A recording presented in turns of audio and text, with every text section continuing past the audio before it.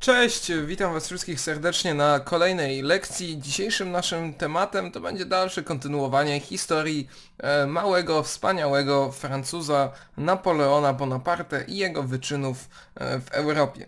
E, Skończyliśmy sobie na wojnach e, z piątą e, koalicją, no i teraz przejdźmy sobie takiego jakby ogólnego rzutu na to, co zdobył w zasadzie Napoleon.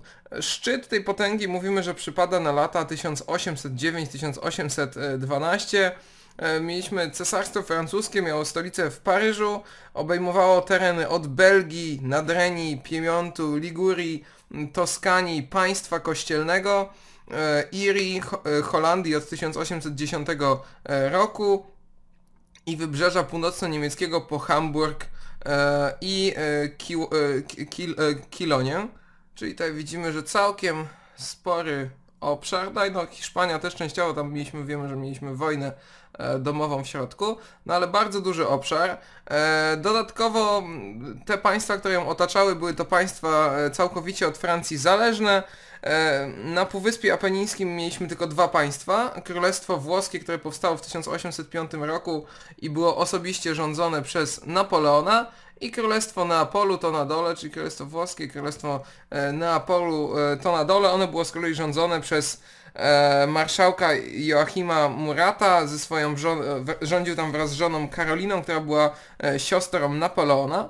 E, Z kolei także zależne było oczywiście od Napoleona księstwo warszawskie, Wielkie Księstwo Warszawskie, które będziemy sobie dokładniej omawiać.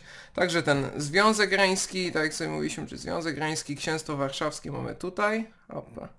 No to myślę, że łatwo się domyślacie, że tu mamy Księstwo Warszawskie.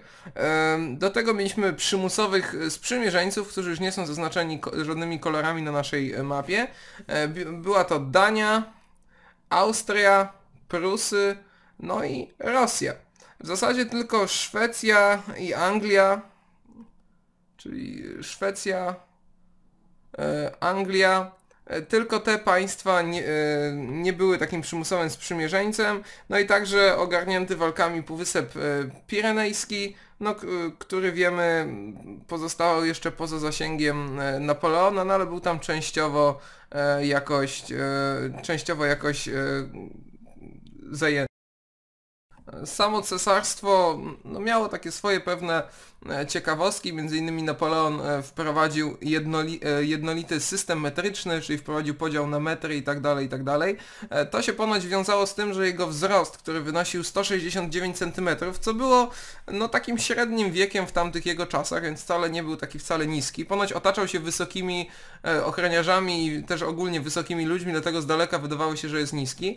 No i też e, popełniono błąd w trakcie przeliczania stóp francuskich na stopy e, angielskie. E, wzięto stopy, potraktowano stopy francuskie jak stopy angielskie i wtedy wychodziło, że Napoleon jest strasznie niski, dlatego e, wyśmiewano się z, z jego wzrostu wśród e, wrogów. No i dlatego prawdopodobnie to wkurzyło Napoleona i po prostu wprowadził jednolity system, jeśli chodzi o te odległości. System metryczny wprowadził e, w Europie, który z czasem zaczął obowiązywać na całym świecie. No może z wyjątkiem teraz, może nie używają go e, jakieś postkolonie brytyjskie, sama Wielka Brytania i e, USA na dzień dzisiejszy, tak mi się wydaje. Znaczy jeszcze pewnie znajdą się jakieś wyjątki. Dodatkowo Napoleon wprowadził ruch prawostronny, o czym się zapomina w Europie. On wprowadził ruch prawostronny, wcześniej obowiązywał w Europie ruch lewostronny. Od e, roku 1300 wprowadził go papież, a tutaj oficjalnie teraz prowadzony ruch prawostronny obowiązuje po dziś dzień. No zauważmy, w Anglii tego ruchu nie mamy. No na przekór oczywiście e, Napoleonowi. E, Napoleon nie miał legalnego syna, skłania go to do rozwodu z poprzednią, pamiętamy, cesarzową Józefiną i został zawarty polityczne, e, e, polityczne małżeństwo zostało zawarte z córką cesarza Austrii Franciszka I Marią Ludwiką. Tutaj ślub z przedstawicielką tego rodu z dynastii Habsburgów miał przynieść cesarzowi upragnionego potomka, to miało też podnieść jego prestiż. Sam Bonaparte liczył, że w ten sposób także zalegalizuje swoją władzę. No wiemy, on nie był z jakiegoś rodu wybitnego królewskiego, dlatego in, in, inne rody Europy były tak nieprzychylnie do niego nastawione. To nie był ten z tych wyżej urodzonych dla nich. Raczej Napoleon się urodził w takiej klasie średniej. No i on w ten sposób myślał, że zalegalizuje tą swoją całą władzę. Jego dziecko będzie już, że tak powiemy, takiej już czystej krwi. E, no i w 1811 roku Napoleon ma syna, e, następcę, zwanego także Orlątkiem, o którym sobie jeszcze pewnie e, ciutkę wspomnimy w przyszłości. No ale tak władcy są trochę tak średnio nieprzychylnie do tego nastawieni. Same stos... może przejdźmy sobie do tego, co teraz doprowadziło do klęski tak naprawdę Napoleona i będzie przez nas teraz omawiane. E, po stosunki rosyjsko-francuskie, pomimo że zawarto pokój w Tylży w 1807 roku, pamiętamy z poprzedniej lekcji, e, mimo to cechowała całe te stosunki duża nieufność, E, car czuł się upokorzony tymi klęskami, które poniósł wobec e, Napoleona. E, obawiał się także, że Rosja stanie się takim państwem drugorzędnym, będzie tylko grała to takie skrzypce, jakiej zagra Francja, że przestanie być liczącym mocarstwem Europy, raczej zepchnie się jej do roli mocarstwa Azji. Już w 1810 roku Rosja łamie blokadę kontynentalną, otwiera porty rosyjskie dla statków neutralnych no i Napoleon chciał zmusić Rosję do przestrzegania tej blokady. Zgromadził potężną armię, to była jakby bezpośrednia przyczyna tego konfliktu. Armia liczyła 600 tysięcy żołnierzy, mówimy na nią e, Wielka Armia Napoleona, 600 tysięcy żołnierzy. 600 tysięcy. Wielka Armia. Wielka Armia. I ona w czerwcu 1812 rusza na Moskwę, czyli 1812 mamy wyprawa na Moskwę. Wyprawa na Moskwę. Połowę siły tej armii stanowią Francuzi, Reszta żołnierzy to raczej są z państw zależnych od Bonapartego, e, które nie za bardzo chcą e, walczyć w tej wojnie w interesach cesarza Fran e, Francuzów. Szczególnie tutaj niechętne są wojska choćby pruskie czy austriackie. No tylko z takich oddziałów zagranicznych Polacy otwarcie chcą, popierają cesarza i chcą walczyć. No oczywiście zawsze w tym widzą interes samej sprawy polskiej. No wyprawa na Moskwę miała szansę powiększyć tereny Wielkiego Księstwa e, Warszawskiego, dlatego Polacy też szczególnie w tym chętnie e, uczestniczyli. E, Napoleon sądził tutaj, że Rosjanie wydadzą mu taką walną bitwę od, w, w, otwartym polu w rejonie przygranicznym. Będzie taka klasyczna bitwa, którą on oczywiście wygra. Car zgodzi się wtedy na rakowania, wojna się szybko skończy. No i sam Napoleon liczył, że to bardzo krótko potrwa ten konflikt, dlatego armia została zaopatrzona zaledwie na 20 dni. Za to Rosja nie wydała bitwy wcale na terenach przygranicznych, nie wydała takiej dużej walnej bitwy. Dlatego, bo w zachodnich guberniach Rosji stacjonowało wtedy tylko 220 tysięcy wojska spośród e, pół miliona tych żołnierzy regularnych, 100 e, tysięcy kawalerii nieregularnej, która składowała się głównie z, z kozaków oraz ponad 300 tysięcy zmobilizowanego pospolitego ruszenia, czyli Rosja miała duży potencjał, ale na granicy mieliśmy e, no, bardzo słabe siły. Dlatego wojska carskie się powoli cofały i zmuszały nieprzyjaciela do oddalania się od magazynów, e, przy okazji szarpano tam oddziałami partyzanckimi, co uszczuplało trochę francuską armię, no ale przede wszystkim celowano w jej zaopatrzenie. Y, Napoleon nie zadbał też o antyrosyjskie jakieś sojusze z Turcją czy Persją, więc Rosja zmagała się tylko z Napoleonem. On podążał tutaj sam na sam z Rosją. Widzimy na tej mapie jak ta trasa, e, jak ta trasa na początku przebiegała. E, na początku wojska Bonapartego wchodzą po prostu w Rosję, nie napotkują jakiegoś większego oporu, może z wyjątkiem ten, e, tych oddziałów partyzanckich i szybko zaczyna brakować żywności. E, część żołnierzy dezerteruje, reszta rabuje ludność chłopską, to oczywiście ją też jakoś rozjusza, powoduje jej bunty. E, były właśnie duże problemy z jakiego, jakimś zdobyciem tego pożywienia, dlatego bo Rosjanie prowadzili tak zwaną taktykę spalonej ziemi, to możemy sobie zapisać Taktyka spalonej ziemi. Taktyka spalonej ziemi. Na czym ona polegała? Rosjanie wycofując się z tych terenów, którymi idzie Napoleon, a Napoleon też zauważmy nie stosował żadnych innych szlaków, on szedł jedną drogą, niszczyli za sobą ziemię po prostu. Znaczy niszczyli wszelkie możliwe zasoby, palili miasta i tak dalej, przez to wojska francuskie wkraczały na ziemię, która była, tak jak mówimy tutaj w przenośni, spalona, czyli nic na niej e, nie było.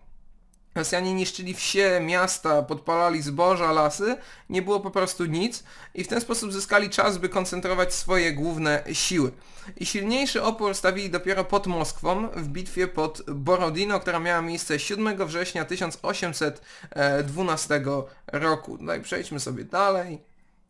Tutaj widzimy obraz Napoleon pod e, Borodino. Tutaj Napoleon sobie siedzi, patrzy i mamy 7 września 7, 9, 1812, bitwa pod Borodino. Bitwa pod Borodino. Okej. Okay. Tam e, Napoleon stoczył walkę z Michałem Kutuzowem, on dowodził rosyjskimi siłami, któremu też błędnie przypisuje się jakby archi...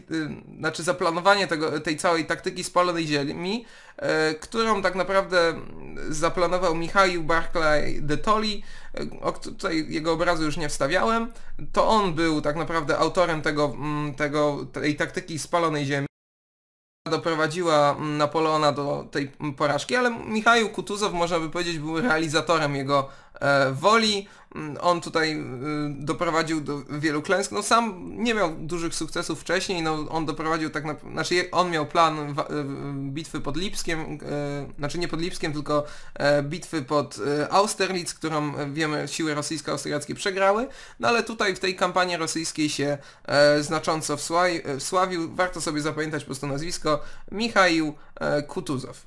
I on realizował bardziej tą taktykę spalonej ziemi, ale jej nie wymyślił, co się często mu błędnie e, przypisuje. Ale wróćmy do naszej bitwy e, pod Borodino. Tutaj obie strony ponoszą e, duże straty, e, Rosjanie jak i Francuzi ale Rosjanie, jakby mówimy, że tutaj ta bitwa była bardziej nierozstrzygnięta. Rosjanie bardziej zostają odepchnięci, a nie pobici i Napoleon sądził, że teraz jeśli zajmie tą Moskwę, to zmusi e, Rosję do rokowań, car się wtedy, znaczy nie podda, tylko właśnie zgodzi na jakieś negocjacje. E, liczył także wtedy, że zdobędzie tam e, zaopatrzenie, schronienie, bo powoli zbliżała się rosyjska zima, już mamy wrzesień zauważmy.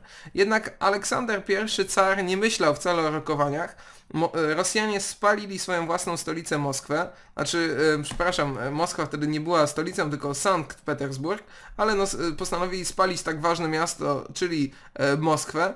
E, siły cesarskie wtedy już liczyły ty tylko 100 tysięcy żołnierzy, siły Napoleona i były bardzo małe, żeby jakoś przebijać się dalej e, na południe. Czyli wchodzą do Moskwy, wszystko jest zniszczone, tam też nie znajdują opoki e, i dlatego Napoleon e, nakazał odwrót tą samą trasą, czyli te same ziemie, które zostały zniszczone. Żywności tam nie było, a wojska na przełomie października listopada zaskoczyła sroga rosyjska zima.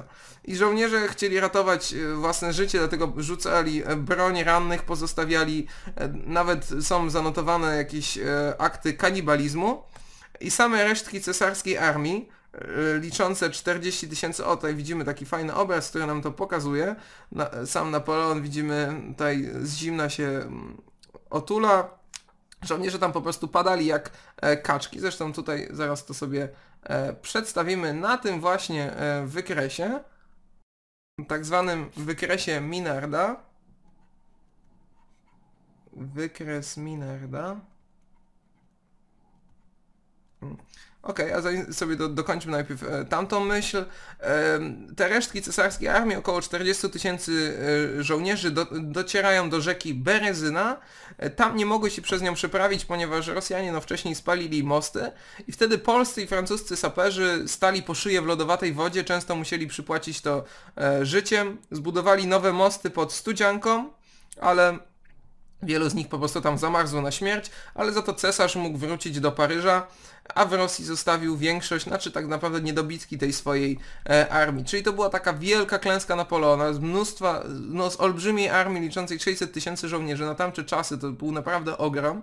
E, zauważmy jak to szło Tutaj mamy wypra początek wyprawy Kowno i tutaj tym jasnym kolorem mamy zaznaczony początek wyprawy, dotarcie do Moskwy i zobaczmy jak te siły się uszczypliły. To, ta szerokość to jest to nasze 600 tysięcy, jak widzimy, odtąd dotąd, a tu końcówka.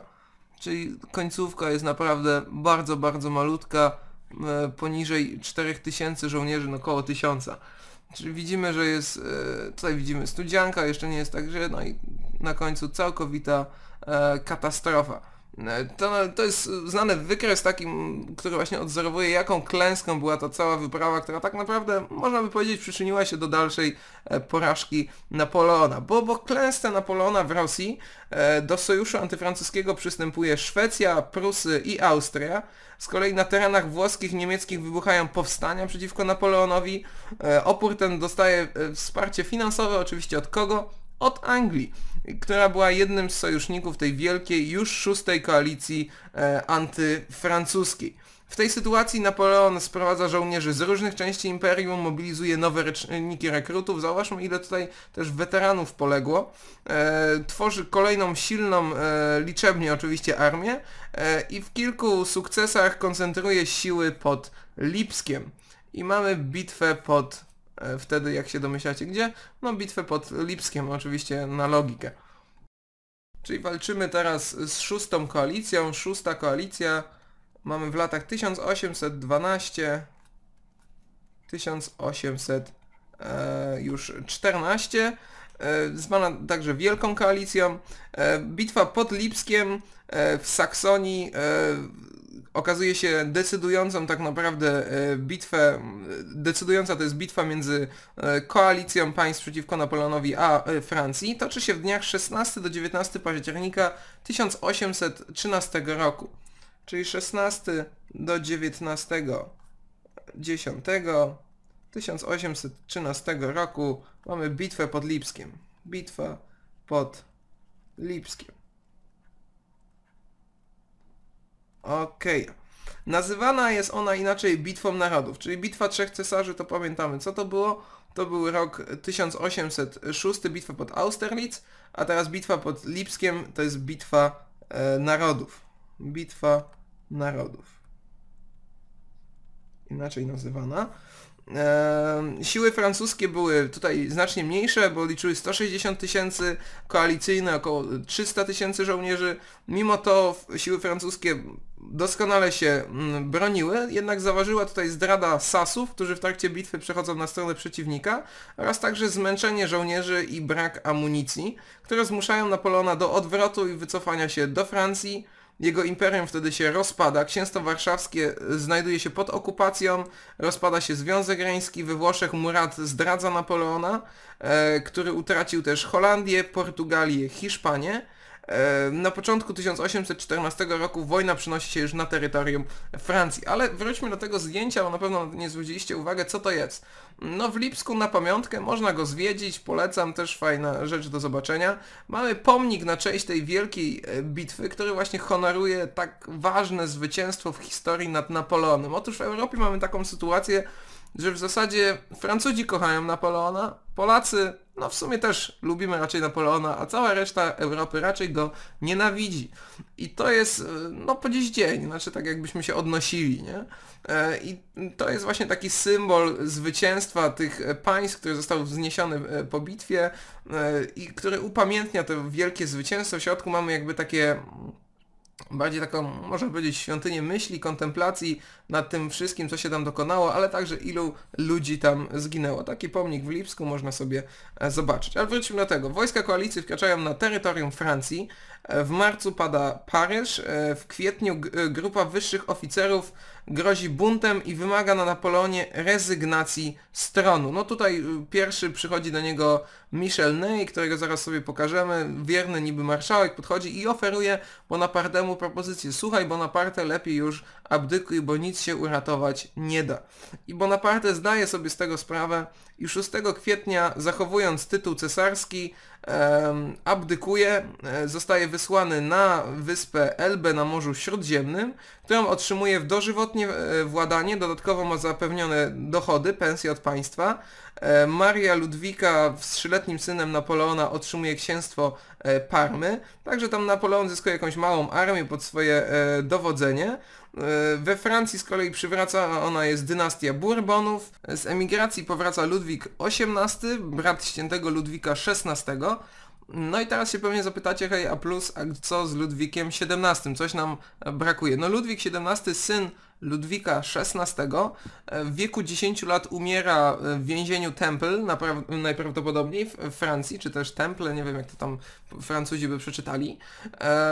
No, to są trochę niewyjaśnione okoliczności. Jedni mówią, że uciekł, e, w 95 roku to było, 1795. Jedni mówią, że uciekł i wtedy zgłaszało się też dużo pretendentów, samozwańców, a inni mówią, że po prostu zmarł, no może na gruźlicę w więzieniu. No takie małe dziecko też wtedy złapano, nie miano litości. No ale niemniej, wraca Ludwik XVIII e, i Francja na mocy pokoju zawartego w Paryżu w 1814 roku powraca do granic z roku 1792. Czyli zapiszmy to sobie e, może 6 kwietnia 6 kwietnia 1814 roku wielka porażka osobista Napoleona, abdykacja abdykacja Napoleona.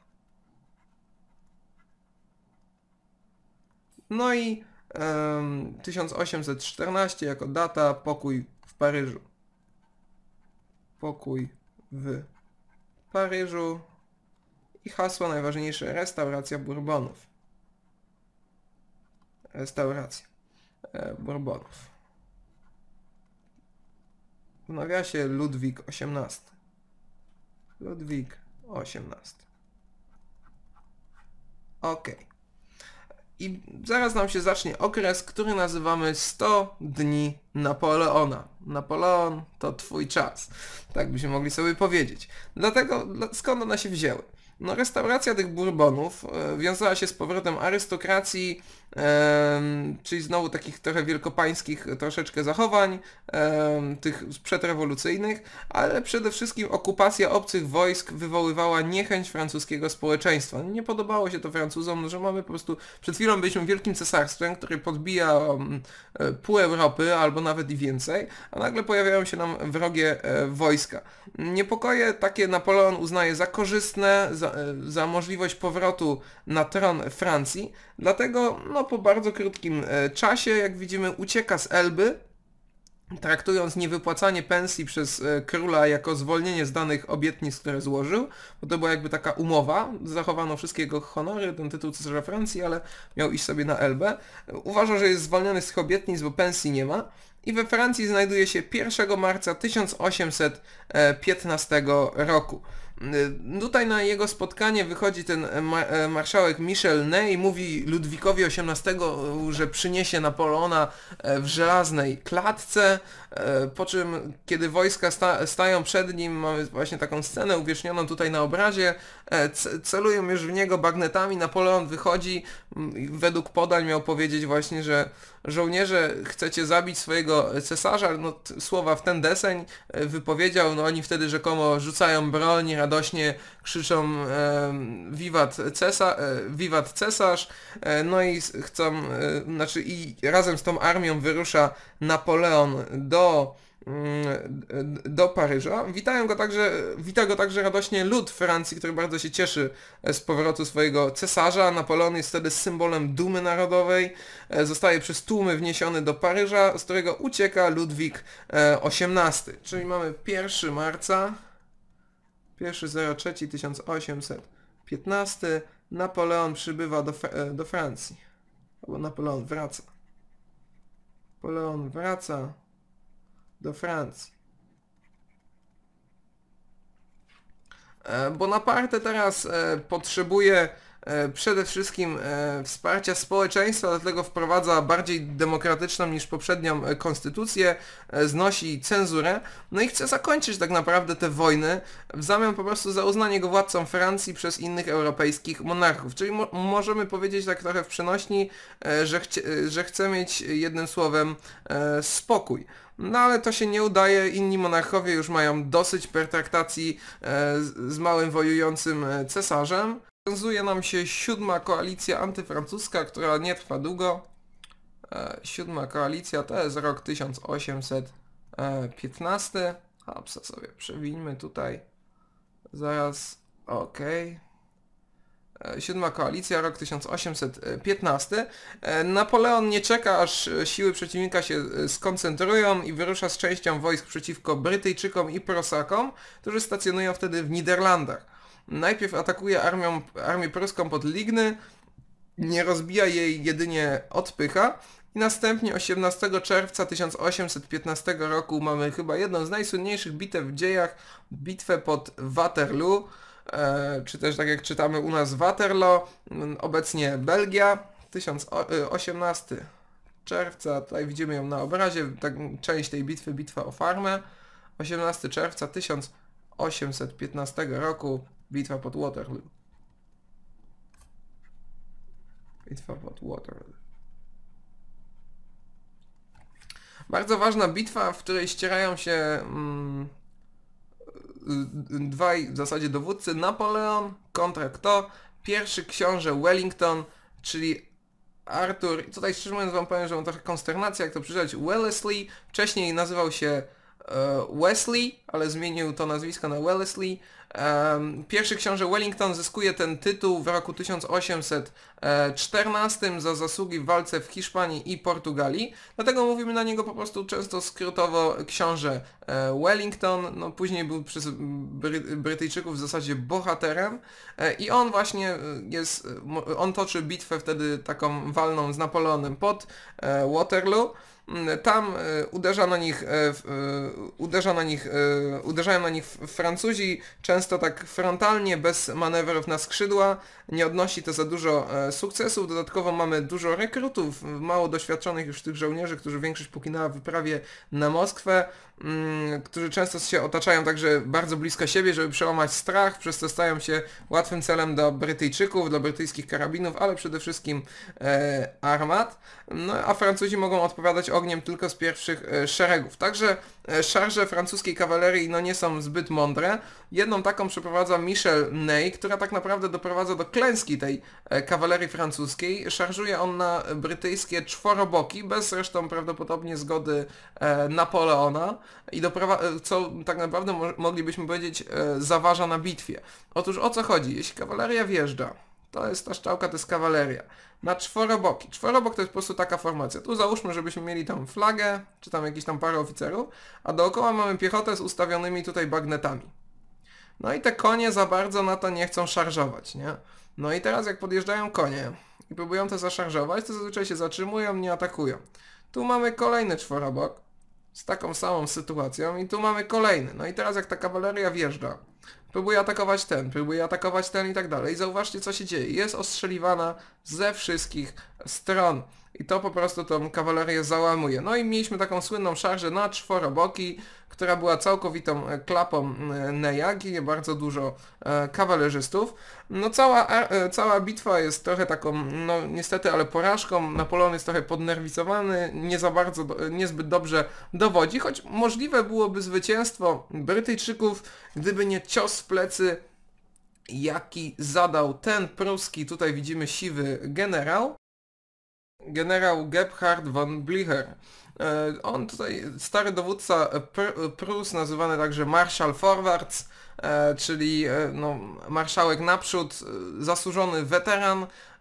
No przypadło mu tutaj dobić, można powiedzieć, Napoleona. Posiłki od Prus w zasadzie zaważyły na bitwie, bo ile, no mówię, cała bitwa była jeszcze może do wygrania, no gdyby nie ta szarża Neya i tutaj y, te e, przybycie jednak Prus, które miały zostać związane przez inne siły francuskie, ale jakby się, byśmy powiedzieli, nie znaleźli. Mamy klęskę Napoleona, e, po której Bonaparte znowu abdykuje. Mm, e, No wokół tej bitwy toczą się, później są toczone legendy, dywagacje, sama jest także taka opowieść, może z takich jeszcze ciekawostek, które wam przytoczę. Mm, W którymś momencie bitwy została nam stara gwardia, ta gwardia Napoleona, trzeba było służyć 10 lat, żeby się w niej znaleźć. Była to naprawdę elita z elit, świetnie wyszkoleni e, żołnierze. E, No i w którymś momencie podchodzą do nich Brytyjczycy, oni mają już sformowane czworoboki, zostały trzy bataliony Starej Gwardii, formują czworoboki, e, podjeżdża do nich, e, podjeżdżają do nich Brytyjczycy i się pytają, czy chcą skapitulować. I wtedy dowodzący Francuzami generał e, Pierre, Pierre Cambronnet odpowiada mu krótko merda, czyli możemy czytać to po prostu, przetłumaczyć to jako gówno. Wtedy te oddziały szybko zostają rozbite, tą, Franc tą starą gwardię wyżynają do końca. No, po klęsce Francuzi próbowali to gloryfikować i jakby taka oficjalna wersja brzmi, e, że niby miał odpowiedzieć ten oficer ładnie, gwardia umiera, ale nie poddaje się nigdy. No, a rzeczywistość była inna. To taki zawsze, taki ząg tamtych czasów. No wiele takich ciekawostek było, co można było kolorować. Też było wtedy tak dość e, ciekawie w tamtych czasach. No ale okej, okay. kończy się bitwa pod Waterloo, e, przegrywają Francuzi, wygrywa książę Wellington, Blücher też. No i wtedy Napoleon już nie jest potraktowany tak jak ostatnio. Zostaje potraktowany jak zwykły więzień wysłany na wyspę Świętej Heleny, e, czyli już daleko, daleko przy Afryce. Zostaje podpisany pokój w 1815 roku w Paryżu. 1815, znowu mamy pokój w Paryżu. Pokój w Paryżu, czyli w mieście, które żegna się z Ryżem. Paryż. Ten pokój był zdecydowanie dla Francji mniej e, korzystny. E, powraca Ludwik XVIII, ale teraz państwo już ma granice z roku 1790, nie 92. Wyznaczono także kontrybucje, które miało zapłacić Francja przez kilka e, lat, znaczy miała spłacić jakby, jakby odszkodowanie, byśmy powiedzieli. No a na północy kraju jeszcze przez kilka lat znajdowały się okupacyjne wojska.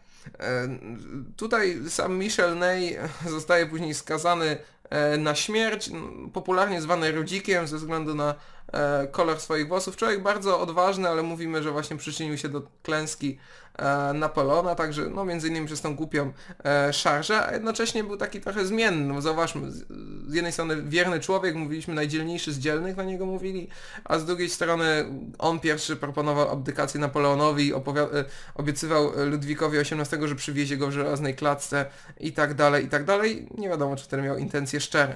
Jak umierał, to taka ciekawostka, stał pod murem, miał wycelowane w niego były karabiny, zapytali się go, czy chce chustkę, żeby nie widzieć tego czynu, on powiedział, że całe życie e, stał naprzeciw e, kul, powiedział towarzysze prosto w serce, e, no, szczelili, mu, szczelili mu prosto w serce rzeczywiście, tylko jedna kula znalazła się nad jego głową.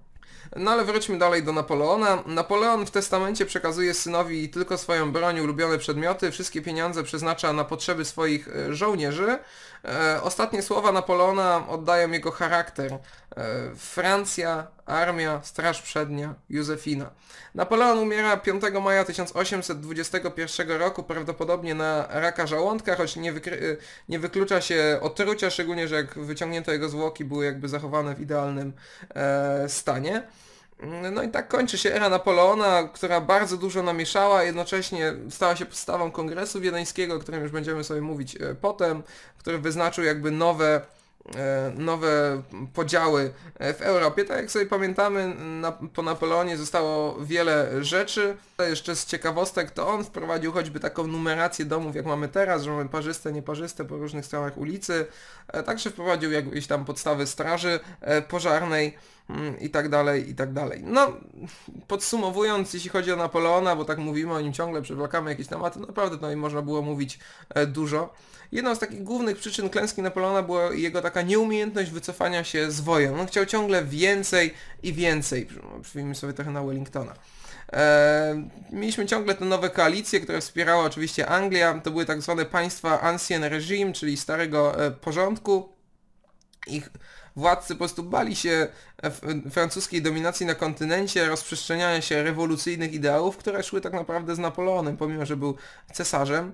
E, Napoleon był takim typowym człowiekiem oświecenia i miał kosmopolityczne poglądy, nie rozumiał, że wprowadzenie nawet jakichś słusznych reform przy pomocy obcych wojsk wywoła w krajach włoskich, niemieckich czy iberyjskich czyli Półwyspu Pirenejskiego, jakieś zbrojne wystąpienia.